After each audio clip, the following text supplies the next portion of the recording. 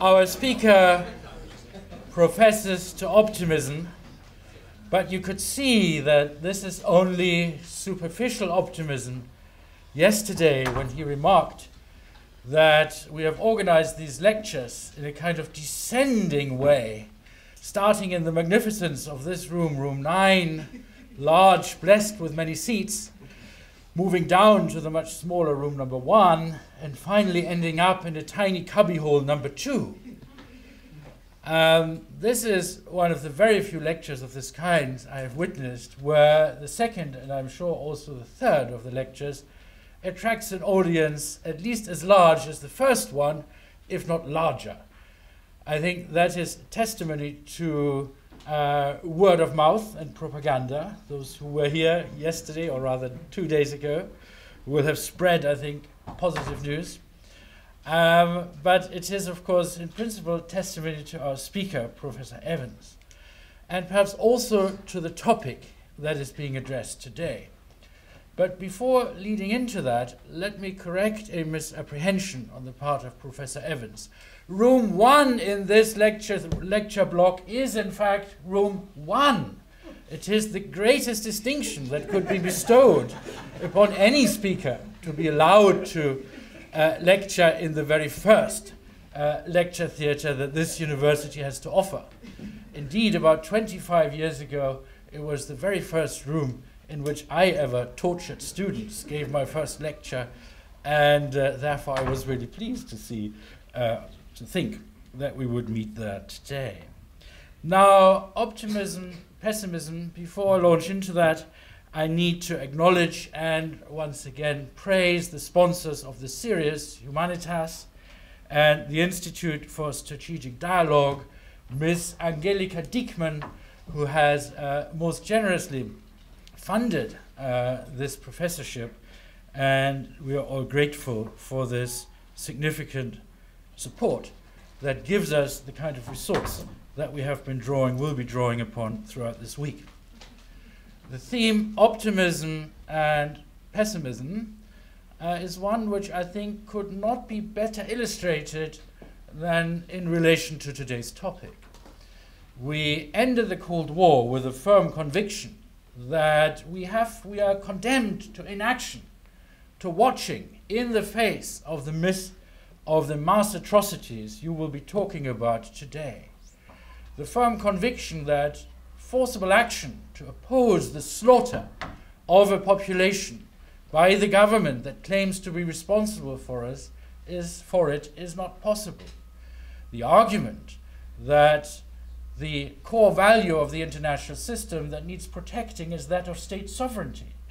And that if we allow exceptions to this principle, for instance, with reference to the need to safeguard human rights in the most extreme circumstances of need, that we then undermine the very state system and we will open the door to ceaseless acts of interstate intervention, to even greater chaos and suffering than the original sin of mass atrocities being conducted, being performed within a state.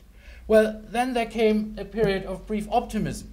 We had under the United Nations flag the United States intervening briefly in Somalia in a way that seemed to be a great success in the face of a man made humanitarian disaster of uh, tremendous proportions we had a number of instances where it seemed that action would now be possible. Northern Iraq, where the Kurds were being slaughtered. Southern Iraq, where the Shiites were under the threat of an artillery attack by the government of Saddam Hussein.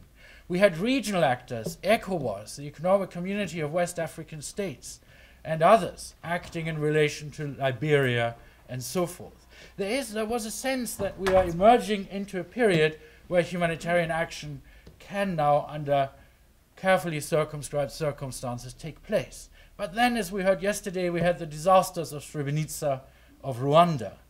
I think the most optimistic optimism, optimists would have fallen into uh, a spirit of pessimism when observing that. Then again, we had a concentration of thought in the framework of the United Nations the idea that perhaps if we organize the UN better to engage in complex peace support and peacemaking operations, we can avoid these kinds of disasters. But there followed the Kosovo episode, which led to a breakdown of international consensus on whether or not there could be an emerging right of humanitarian intervention. This was followed in a very cunning way by the Canadian government and others, including in particular our speaker uh, today, the Commission on State Sovereignty and Intervention, which came up with a brilliant solution, which was to say, for decades you have been discussing the wrong thing. An irresolvable tension between state sovereignty and stability of the international system versus human rights. But in fact, these things are not opposites that can never be brought into line. They are the same thing. Because state sovereignty implies the responsibility of the state to arrange for the well-being, arrange for the well-being of its constituents. And the doctrine that emerged, responsibility to protect, uh, was really quite a brilliant way of reconfiguring the debate after the diverse discussion that followed upon Kosovo. And there has been no uh, more brilliant and vocal advocate of this than its principal author, Professor Evans. Since then, the uh, Millennium Plus Five Summit of the United Nations has formally endorsed this concept. We have had its application uh, in, uh, in name in a number of cases, references by the Security Council, in action in relation to Cote d'Ivoire, and controversially, uh, Libya, where again perhaps the pendulum of some swung back towards the idea of pessimism, that an excessive invocation of a mandate granted under the flag of responsibility to protect has led to irreparable damage to the credibility of that doctrine. But we need not fall into a spirit of pessimism because we have people like Professor Evans who are already working hard at rebuilding a consensus at the core of the idea of responsibility to protect.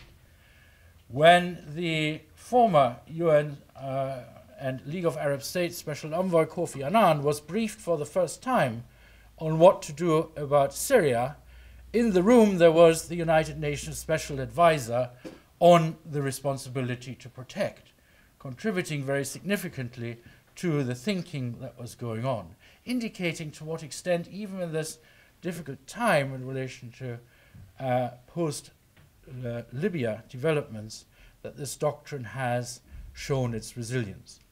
Resilience due to the intellectual clarity and persuasiveness, persuasiveness of the concept about which we shall now hear more. Thank you very much.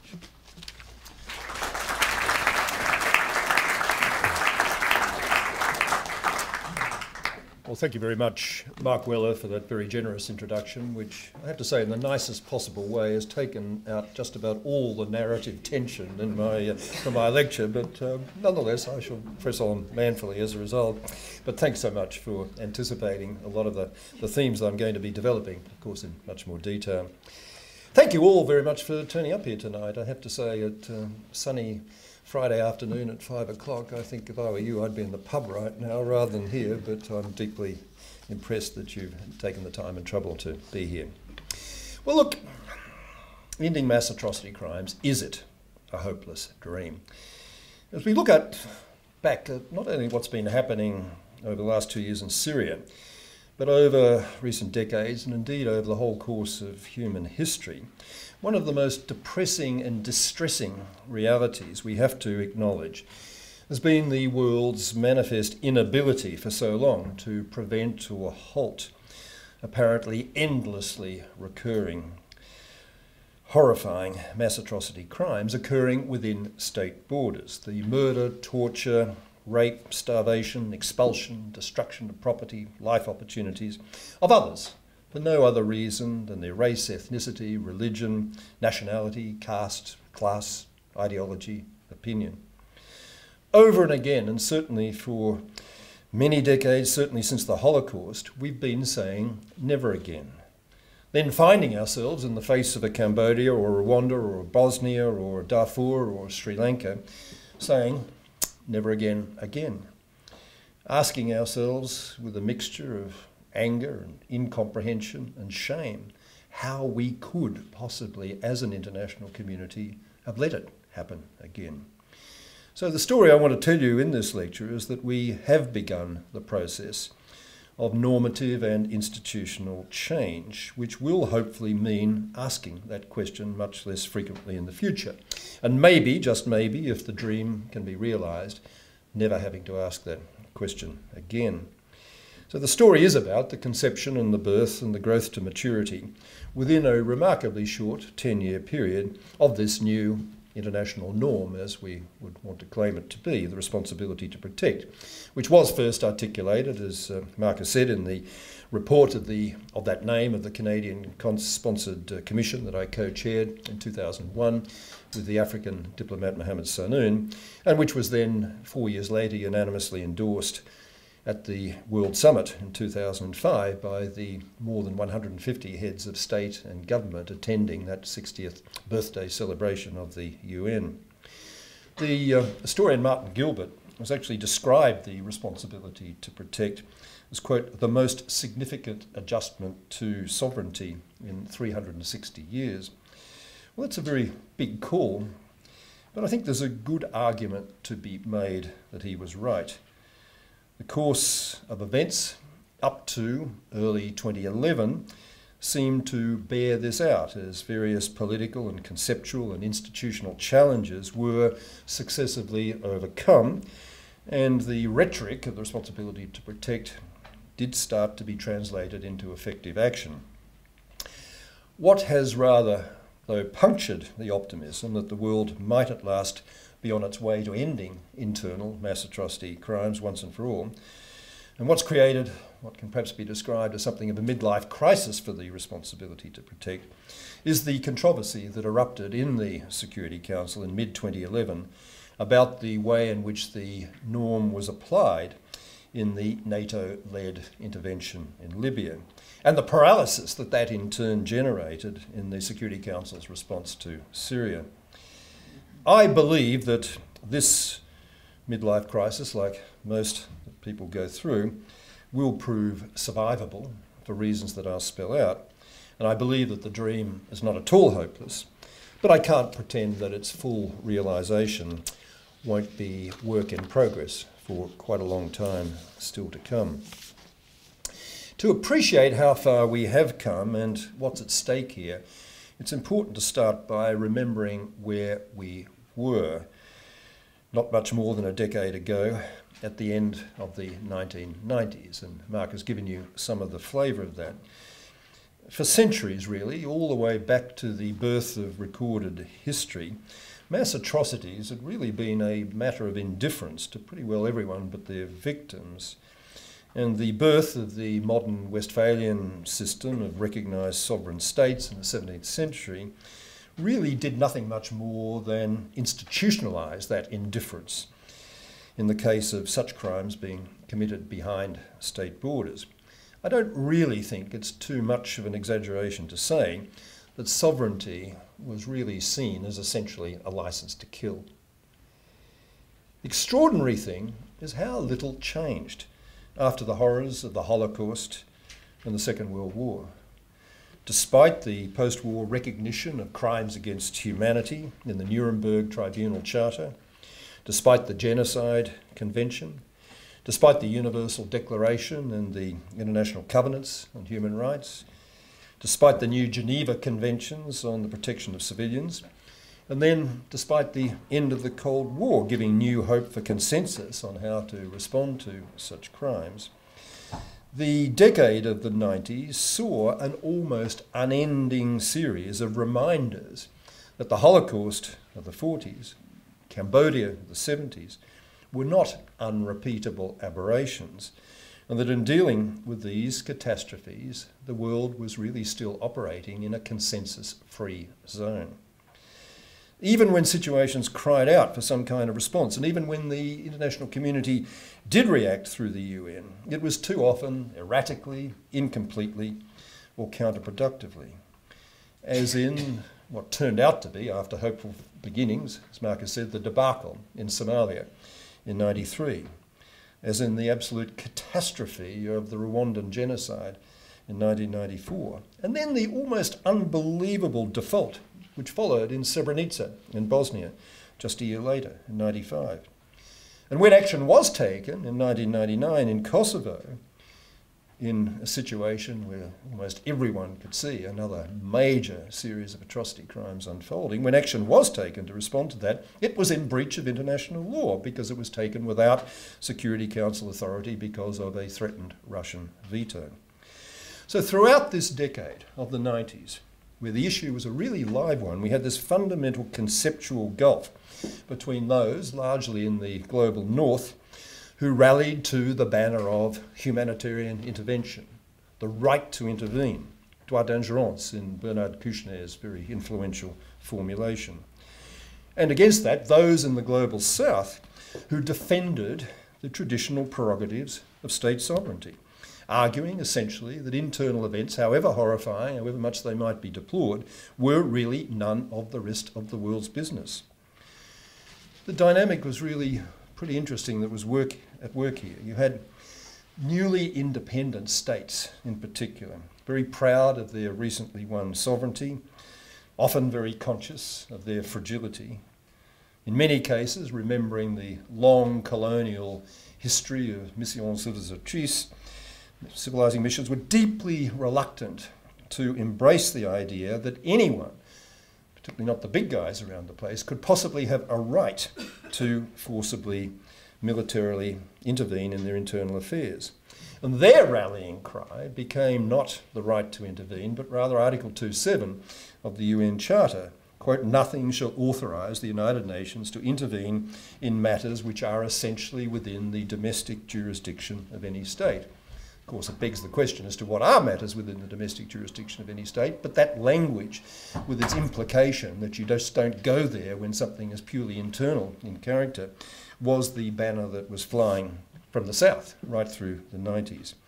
And so through the 90s, and most of us can remember this, I think, that were following it, there was this bitter, divisive debate in the General Assembly and elsewhere, and as a result, the almost complete absence of effective action.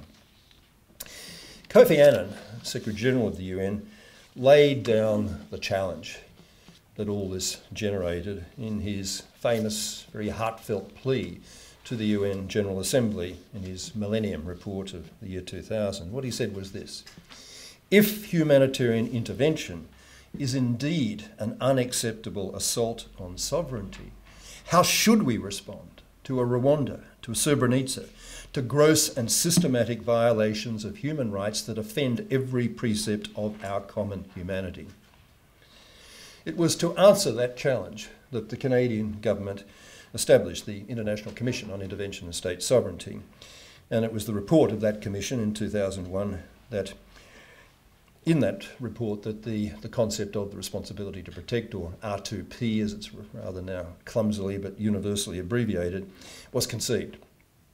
Our primary task on that commission, as we saw it, was to come up with something which built bridges rather than burnt them between North perceptions, South perceptions, which made clear that there were other response options apart from sending in the Marines, or conversely, doing nothing. That forcible military intervention was not the only game in town in responding to these situations. And we saw our task as, above all, producing some kind of new approach to these situations which was capable of generating a reflex, a reflex international response, reflex political response, that mass atrocity crimes were not nobody's business, but rather everybody's business. and our report sought to meet these objectives in four main ways. First, presentationally, by turning, as Marcus indicated, the right to intervene language into responsibility to protect language. Recharacterising the issue about not being the, the right of states to do anything, and certainly not the right of the big guys to throw their weight around, but rather the responsibility of everyone to address these issues, to protect their own and other people at risk. And our hope was that this linguistic change, the change from right to responsibility and the change from intervene to protect, putting the emphasis on the victims rather than the, the military guys, would actually enable entrenched opponents to find new ground on which to constructively engage. Very much the role model that I, co-chair of the commission, had in mind was Gro Brundtland's commission a few years earlier, which many of you will remember on environment and development, which by introducing the concept of sustainable development, which had not been part of anybody's vocabulary up until then, gave the greenies on the one hand and the hardline and developers on the other hand at least a mutually accepted linguistic conceptual frame of reference in which, within which, to argue out specific cases. It didn't guarantee you agreement in a particular case, but at least you're on the same tabletop. You're not fighting across a complete gulf of incomprehensibility and completely different perceptions as to the way in which issues should be addressed. So that was a, a role model very much in our minds uh, when we made the linguistic shift, the presentational shift. The second thing we did was to broaden the range of actors in the frame. Whereas the right to intervene, by its very nature, focuses focus just on international actors able and willing to apply military force. That was the whole context. This new formulation was deliberately designed to spread that responsibility, starting with the spotlight on the sovereign state itself and its responsibilities, and only then shifting to the responsibility of the wider international community to assist in the first instance or to engage more robustly if that became necessary. One crucial intellectual underpinning for our approach was by no means the only underpinning, although a lot of academics seem to think to this day that it was, was the development of the idea of sovereignty as responsibility by Francis Deng, later to become the UN Special Advisor on Genocide, and his colleagues, including especially Roberta Cohen at the Brookings Institution born out of his experience, Deng's experience in the 1990s as the UN Secretary General's Special Representative on Internally Displaced Persons. The notion that sovereignty in the post UN Charter world was not just about control, as traditionally it had been, but carried with it obligations to one's own people and to the wider international community, was certainly an important building block for the R2P story that we were constructing, making it clear that a crucially important actor with crucially important responsibilities was the sovereign state itself. Third thing we did was to dramatically broaden the range of responses that were in the frame. Whereas the right to intervene or humanitarian intervention focused very one dimensionally on military reaction, the responsibility to protect concept, as we articulated it, involves multiple elements in the response continuum. Preventive action, in the first instance, both long and short term. Reaction, of course, when prevention fails and you've got a problem shrieking out at you, staring you in the face. But then also at the other end of the spectrum, post crisis rebuilding, aimed at, again, prevention, this time prevention of recurrence of the problem in question. The reaction element in the middle was itself a nuanced continuum, beginning with persuasion, moving from there to non military forms of coercion of varying degrees of intensity, and only in the most extreme and exceptional circumstances contemplating coercive military action. The fourth thing we did was to clarify what those extreme and exceptional cases requiring military action might be by identifying a set of prudential criteria for the use of coercive military force, which criteria might be applied by the Security Council in deciding when and how to act. There were five guidelines which we identified, which were together intended to set the bar quite high against military intervention. The first criterion was seriousness of the risk.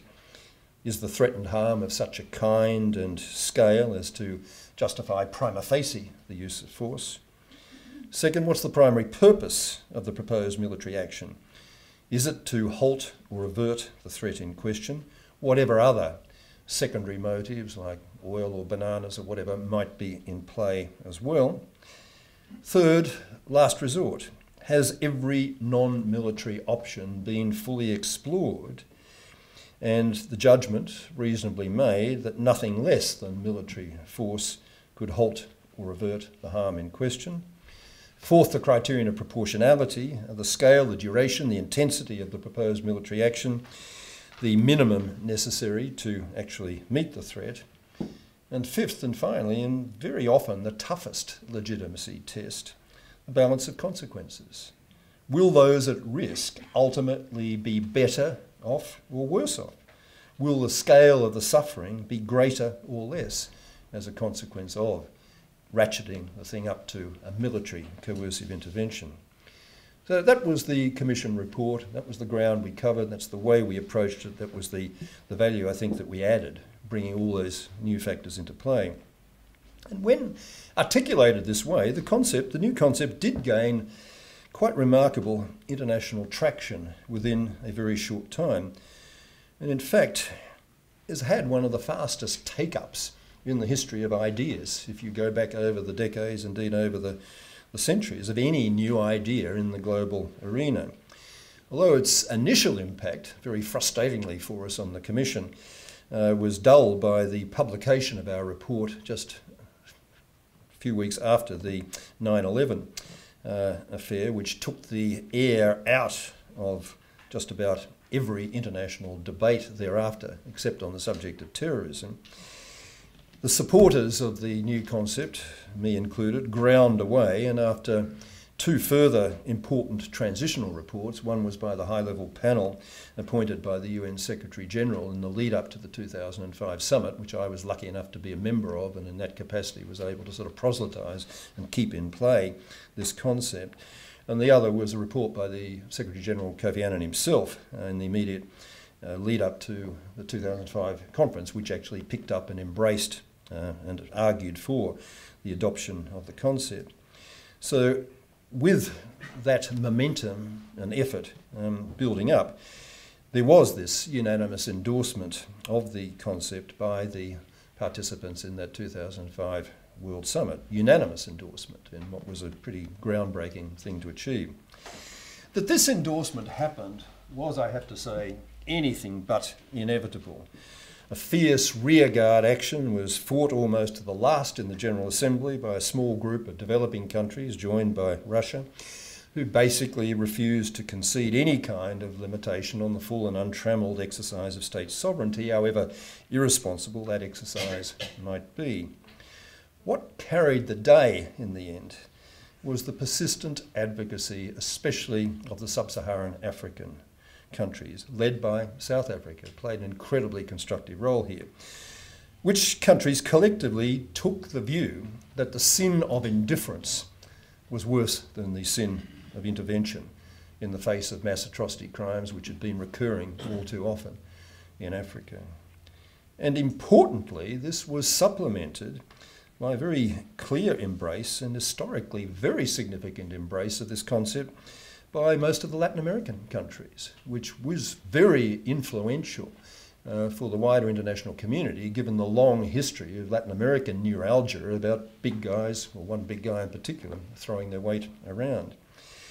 And that was enough to overcome the resistance uh, of the Asian countries in particular, which was always uh, sort of visible. The embrace was certainly less than enthusiastic. But anyway, we got there. In the process of transformation from Commission report to the language of the World Summit outcome document, the famous for the aficionados among you, paragraphs 138, 139, in the process of that transformation, which process has also continued to some extent with a further articulation of the issues in a series of very well received annual reports to the General Assembly from 2009 onwards by the Secretary General, written by his special advisor on R2P, uh, Ed Luck. In the course of this transformation from report to 2005 decision to subsequent refinement, the scope of the R2P concept, as articulated by the Commission originally and as I've described it to you, was in one quite important respect narrowed and in another important respect presentationally refined And this has generated, as again the aficionados among you will be well aware, quite a lot of academic criticism to the effect that the original Commission report has been unacceptably diluted. But as one of the primary architects and writers of that original report, I don't believe that criticism is for a moment warranted. let me tell you why. The narrowing that took place in the two paragraphs of the World Summit document was simply a more precise definition of the threshold for the application of the doctrine. And whereas in our Commission report we had expressed that threshold in quite general terms, a population suffering serious harm, which made some states very nervous about potential overreach of the doctrine, what was substituted for that was a very narrow focus on four particular crimes uh, either occurring or anticipated genocide, war crimes, ethnic cleansing, crimes against humanity. I mean, the international lawyers among you will argue as to what precisely is a crime. Uh, now, I think you can say that genocide, war crimes, crimes against humanity are very clearly established and identified categories of international law crimes. Ethnic cleansing is a way in which such crimes can be committed rather than being a crime itself, but that's, that's detail. The important thing was that the focus was narrowed on the likelihood or the occurrence of a quite narrowly described set of, of circumstances recognised in international law. And I think that making the threshold triggers narrower but deeper, in fact, made for a much stronger, not weaker, responsibility protect doctrine because it was able to be politically embraced in a way that a broader threshold would not have been. The major refinement that's taken place has been in the characterisation of the relevant responsibilities in terms of three pillars. This was implicit in the 2005 language, and I think it was also implicit in our own report before that, but it was made explicit in the 2009 report of the Secretary General to the General Assembly, and that has now become really a, a key source document, reference document in itself.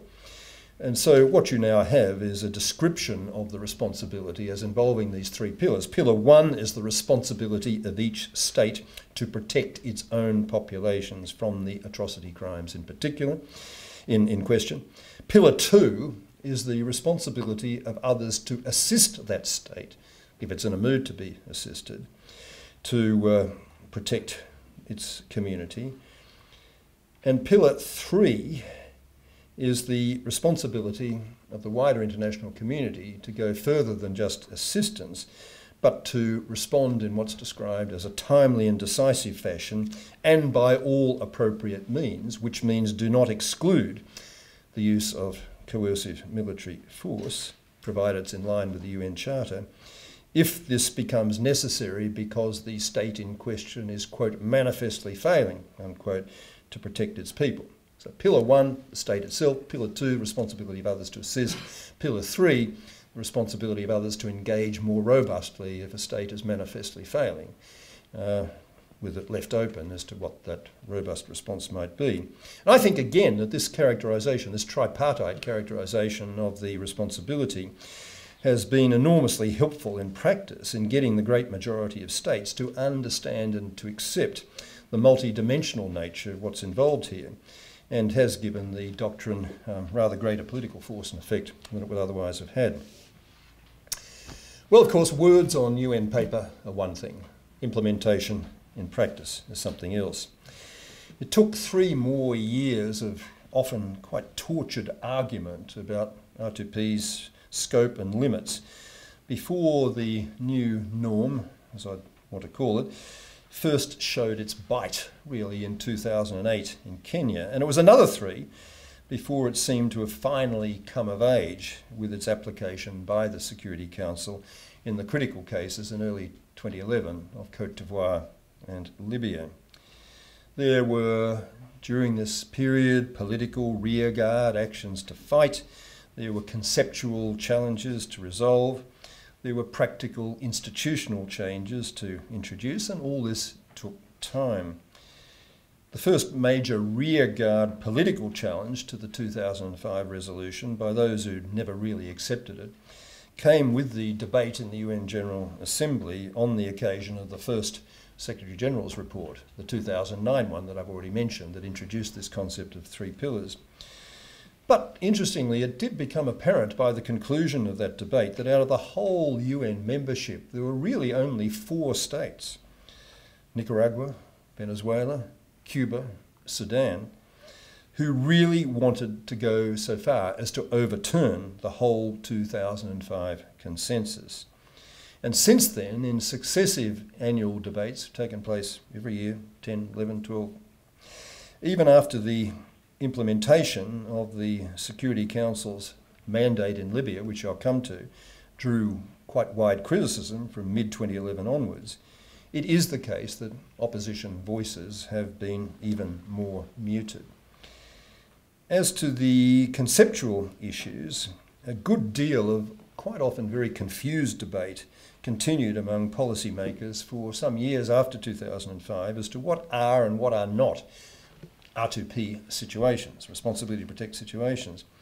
But as successive cases have arisen and as they've been debated, more and more consensus has really been evident on the scope and the limits of the doctrine or the norm.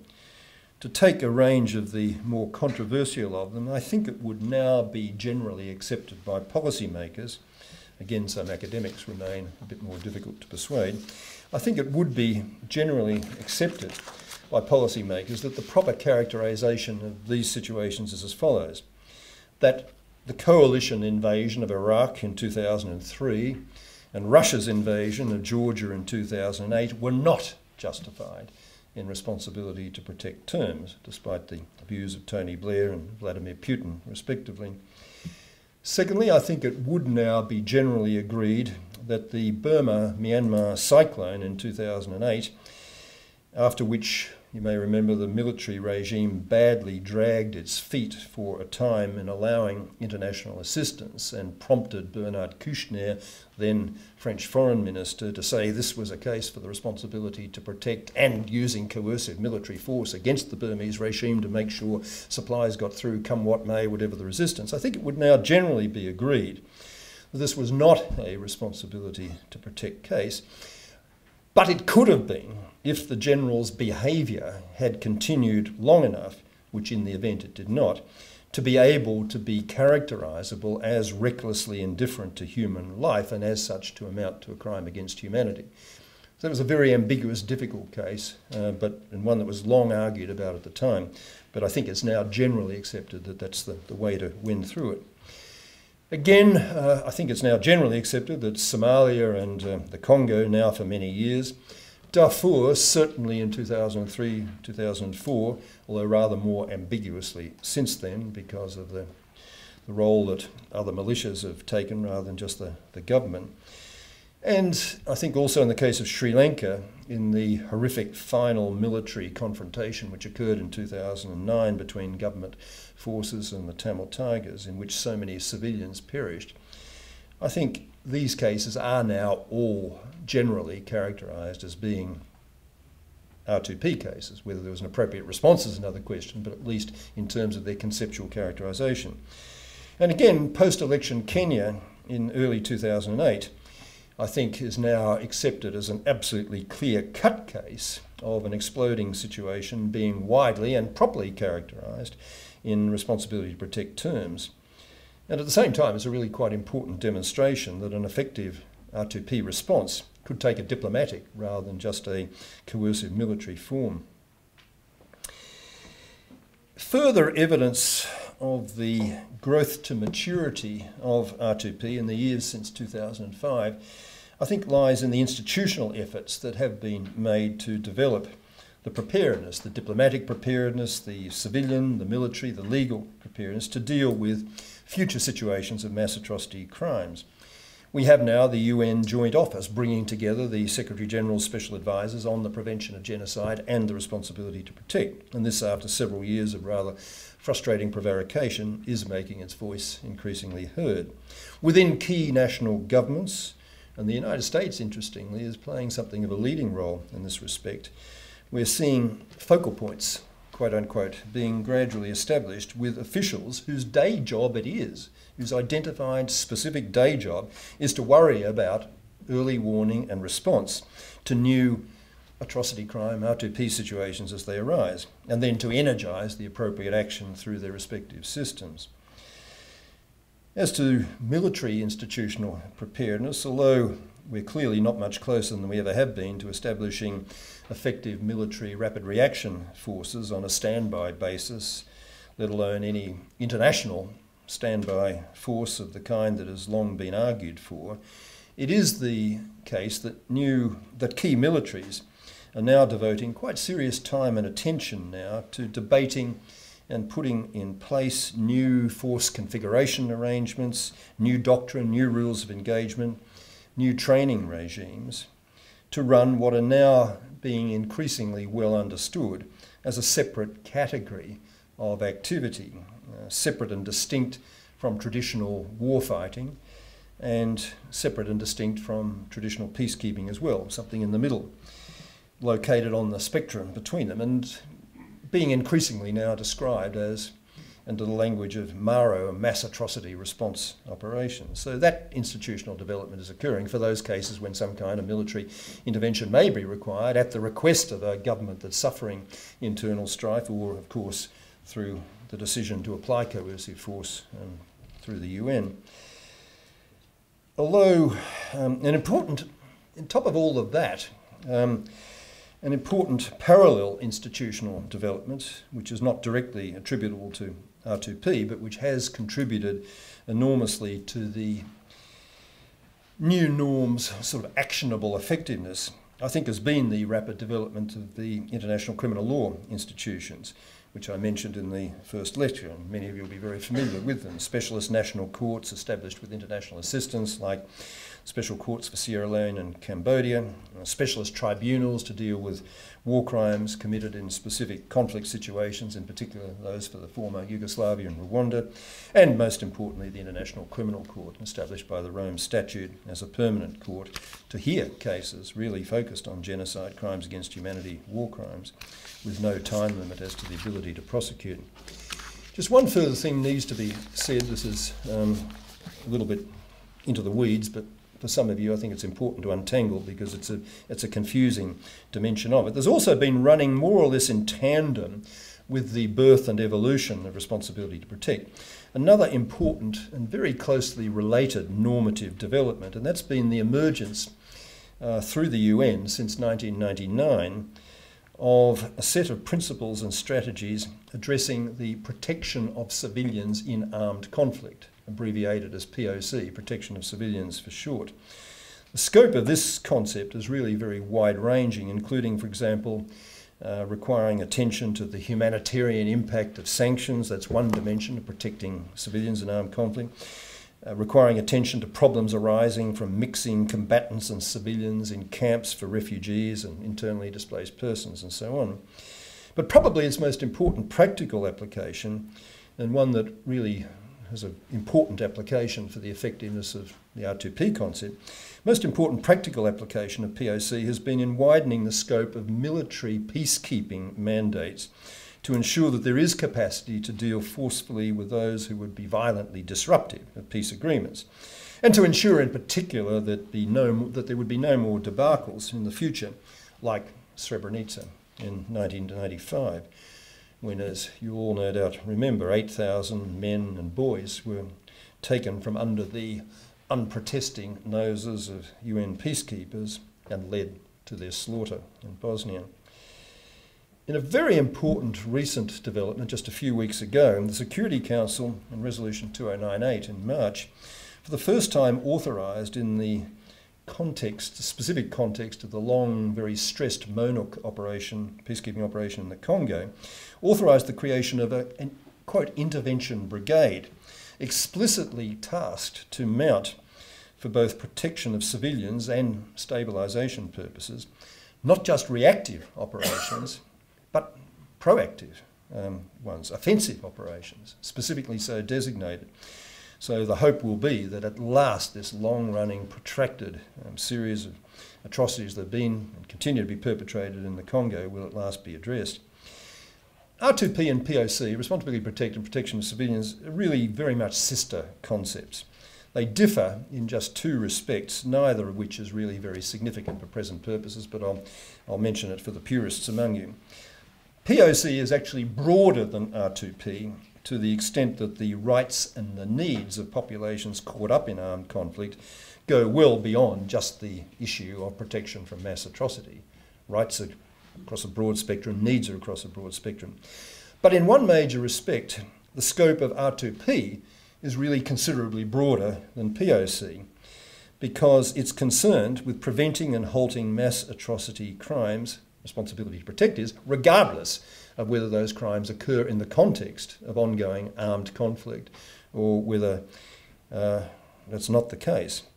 Cambodia in the mid 1970s, Rwanda itself in 1994, Kenya in 2008, Libya, at least at the time of the initial UN intervention in February March 2011, are major examples of such one sided violence, non war situations, where POC principles would have no application but where R2P was squarely relevant. So they march in tandem, but don't be confused by the occasional distractions one has about you know what's which. Although the Security Council had endorsed R2P, not just the General Assembly, but the Security Council had itself endorsed R2P in general terms as early as April 2006, which was actually in the context of a thematic resolution on POC, protection of civilians, which demonstrates again the close connection between the two concepts that I've just described. Although there'd been that early recognition by the Security Council, which was politically, conceptually quite important, it wasn't actually until 2011 that the UN Security Council itself took action explicitly under the R2P banner.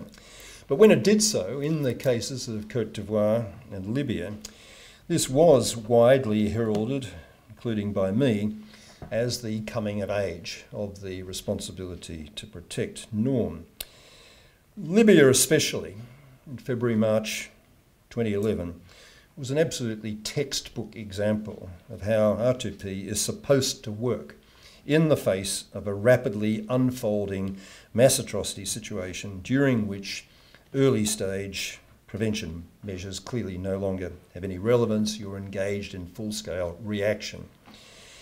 In February 2011, you'll remember Gaddafi's forces responded to the initial peaceful protests against the excesses of the regime, inspired by the Arab Spring revolutions in Tunisia and Egypt. Gaddafi's forces responded by massacring at least several hundred of his own people. That led to the unanimous UN Security Council Resolution 1970, which specifically invoked the Libyan authorities' responsibility to protect, that language was loud and clear in its population, condemned its violence against citizens, demanded that this stop, and sought to concentrate Gaddafi's mind by applying targeted sanctions, an arms embargo, and the threat of ICC, International Criminal Court, prosecution for crimes against humanity. Then, as it became apparent that Gaddafi was not only ignoring that resolution but planning a major assault on Benghazi in which, quote, no mercy or pity would be shown to perceived opponents, armed or otherwise, and with his further reference to cockroaches having a special resonance for those who remembered how Tutsis were being described before the 1994 genocide in Rwanda, in this context, with this happening, the Security Council followed up three weeks after the first resolution with the second one, 1973, also invoking R2P, specific language, which by majority vote, with no Russian or Chinese veto, no dissenting voices, although a number of abstentions, this authorised, quote, all necessary measures, unquote, by member states and that in UN speak means military intervention, quote, to protect civilians and civilian populated areas under threat of attack. Acting under this authorization, NATO led forces took immediate action. The feared massacres did not eventuate.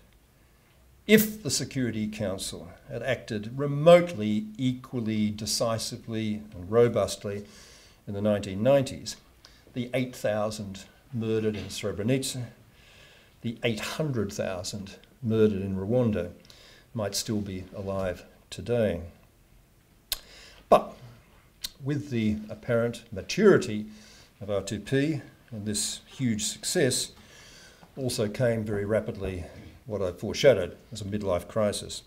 As the weeks and the months wore on, the Western led intervention came under fierce attack by the BRICS countries, so called Brazil, Russia, India, China, South Africa. Came under attack for exceeding its narrow civilian protection mandate and being content with nothing less than regime change, which was, of course, finally accomplished with the overthrow of Gaddafi in October 2011.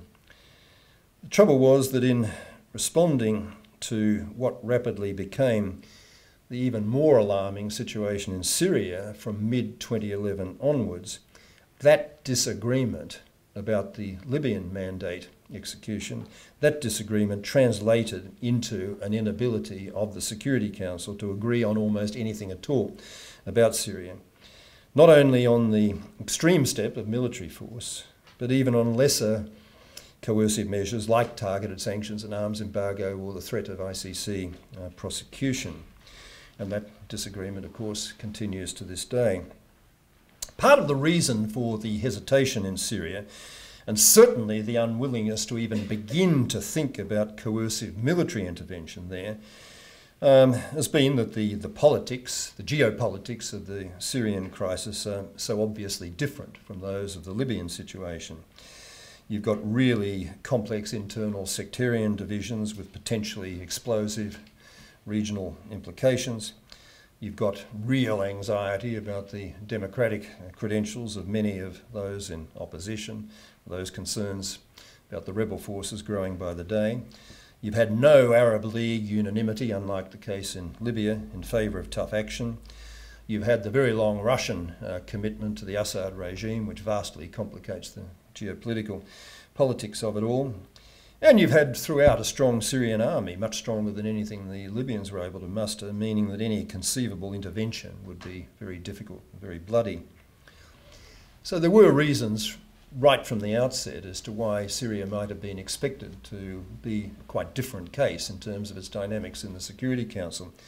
But there really is more to it than that. Consensus about doing anything even initially condemning the misuse of power by Gaddafi, by uh, sorry Assad in Syria, and even condemning the, the course of events, which condemnation a very, very long time coming from the Security Council.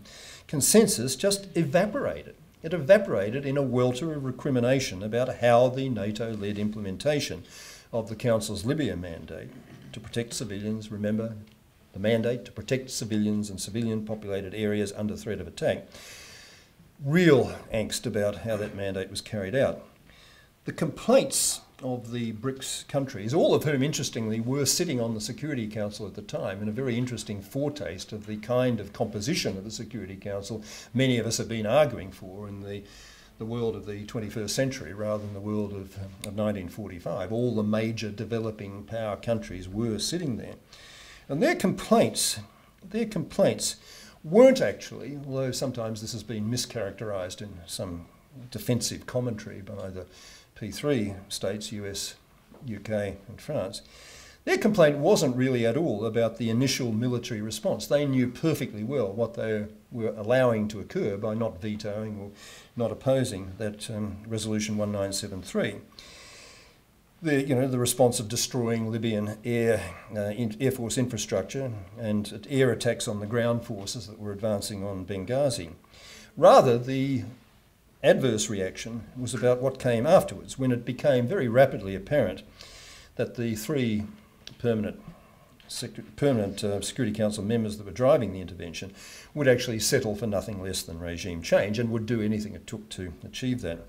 The particular concerns that were articulated by the BRICS countries were that the interveners uh, rejected, refused to even begin to take seriously ceasefire offers that may actually have been serious, that the NATO forces struck fleeing personnel that posed no immediate risk to civilians, that those military forces struck a number of locations of no obvious military significance, like the compound in which some of Gaddafi's family was killed, and more generally, that the, um, the P3 NATO led forces comprehensively supported the rebel side in what rapidly became a civil war, ignoring in the process the very explicit arms embargo which they'd all agreed to. These were the nub of the, the criticisms. The P3, US, UK, France, are not without some quite reasonable answers to at least some of these challenges. In particular, the answer that if civilians were to be protected house to house in areas like Tripoli, where under Gaddafi's direct control, they were being put at risk with arrests and imprisonments and executions and so on. That could only occur in areas under Gaddafi's control by overturning the whole regime. But while these and other arguments did have some force and continue to have some force.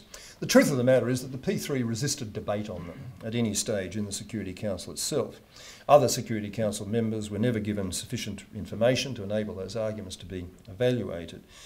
And there was really just, I know from talking to most of the ambassadors involved and the particular personal style they adopted when all this was being debated, there was seen to be a contemptuous dismissal of these concerns. Maybe not all the BRICS countries are to be believed when they say that had better process been followed, more common ground could have been achieved. I think in particular, uh, scepticism is entirely appropriate about Russia's uh, performance in relation to Syria you know, from day one. We can only just hope that this week's events, the Kerry Lavrov meeting in Moscow you've been reading about, with the, uh, with the willingness to um, convene an international conference and to try and drag uh, each side in the Syrian conflict to the diplomatic table, we can only hope that this will at last start to bear some fruit, although my optimism is going to be pretty much tested, I think, over the next three weeks as to whether this actually happens. But I think, despite the fact that some scepticism is justified, uh, in the case at least of Russia, at least up until now, I do think they can be believed, the BRICS countries can be believed when they say they feel bruised, bruised by the P3's dismissiveness during the Libyan campaign. And I think they can be believed when they say that those bruises will have to heal before any consensus can be expected in future on tough responses to tough situations like this. The better news, let me conclude by saying is that a way forward has opened up, which does suggest that it might just be possible to piece together again that consensus that was so critical in early 2011 in Cote d'Ivoire and in the initial stages of Libya. It's opened up because Brazil initiated a debate itself at the end of 2011 that has been continuing since, albeit in a fairly muted form. That consensus arguing suggesting that consensus might be able to be recreated in these hardest of cases if the idea could be accepted, not of throwing out R2P, but supplementing the responsibility to protect with a complementary set of principles and procedures which Brazil labelled RWP, responsibility while protecting. And the two key proposals, there's a lot of noise which created confusion about what precisely the Brazilians are on about. Uh, but the two key proposals, as they've now been refined and, and are articulated by Brazilian representatives, are first for a set of prudential criteria, including in particular last resort proportionality and balance of consequences, to be fully debated and fully taken into account before the Security Council mandates any use of military force in the first place. They're not necessarily arguing that these be formally embraced as formal guidelines, but just that in practice there's some serious attention to making a case against those prudential criteria, the key ones of them. And the second thing the Brazilians are arguing for uh, is, and I, I, should say those prudential criteria, of course, are what my own commission was arguing for all the way back to 2001, so I'm wholly supportive of that.